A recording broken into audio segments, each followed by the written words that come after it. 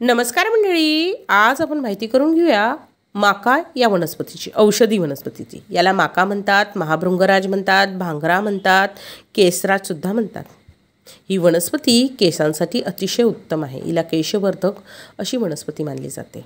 याचे आपल्याला उपयोग माहिती आहेत.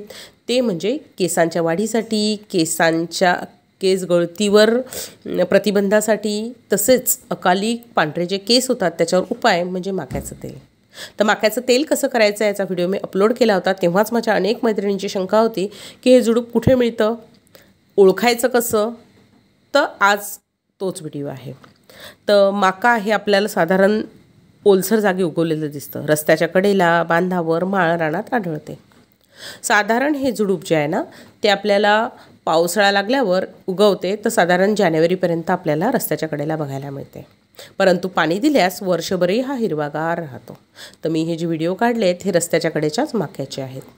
आता या झुडपाची ओळख कशी करायची? तर बघा साधारण दहा ते पंधरा सेंटीमीटर उंचीचं असतं फार उंची नाही आहे फांद्यांना उपफांद्या फुगल्या फुटलेल्या असतात. त्यानंतर झाडाची पाने समोरासमोर असतात.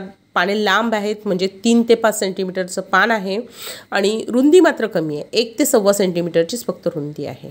फांद्या उपफांद्या फुटल्या असतात.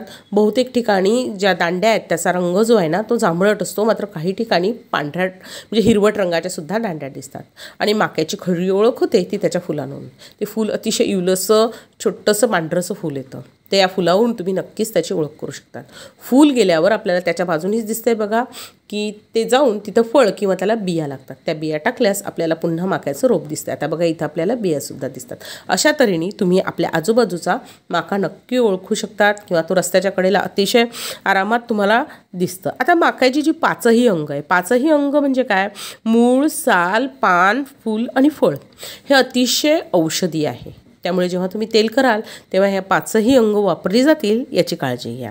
आणि तेल कसं करायचं याचा व्हिडिओ अपलोड केला आहे आणि त्याची लिंकसुद्धा मी खाली देते. आता माका ही औषधी वनस्पती केशवर्धक मानली जाते. तिचे तेल म्हणजे भृंग ऑइल किंवा माक्याचं तेल. यांनी केस गळती कमी होते केस काळे राहतात अकाली पांढरे होत नाहीत आणि मेहंदीबरोबर जर आपण वाटून लावले तर याचा फायदा होतो. किंवा तुम्हाला माटका आता मिळाला तर तुम्ही त्याची सावली सुकवून पावडर केली तर तीसुद्धा मेहंदीमध्ये वापरू शकतात. किंवा माक्याच्या जर तुम्हाला जे फळ किंवा ज्या बिया सापडल्या तर त्या कुंडीतसुद्धा लावू शकतात आणि वर्षभरसुद्धा तुम्हाला माका मिळू शकतो. फक्त केशवर्धक एवढीच याची ओळख नाही आहे. तर असं म्हणतात की माक्याचा रस जर आपण दोन तीन थेंब रस जर रोज घेतला तर आपल्यावर तेज येते. म्हणजे वार्धक्यापासून आपण दूर जातो.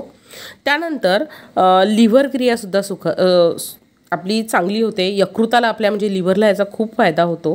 त्वचारोगांवरसुद्धा सुद्धा माका वापरला जातो. डोक्यामध्ये चाई पडते किंवा केस गळतात. तर चाईच्या ठिकाणी पण जर माक्याचा रस लावला तर आपल्याला तिथे केस उगवलेले दिसतात. आता हा माका मी पाण्यात आणून ठेवलेला आहे. त्यात तो ताजा राहावा अगदी हिरवागार राहावा म्हणून मी पाण्यात ठेवले तर आपल्या आजूबाजूला असा जर माका दिसला तर नक्की तुम्ही तोडून आणा.